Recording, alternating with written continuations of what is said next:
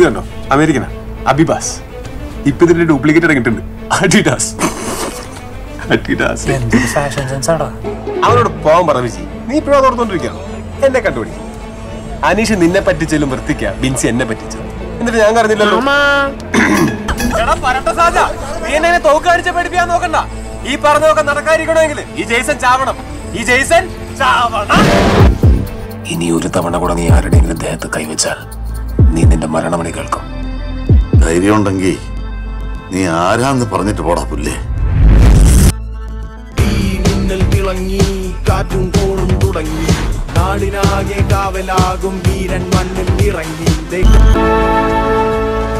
നിന്റെ അപ്പൻ ഒരു നായകനായിരുന്നടാ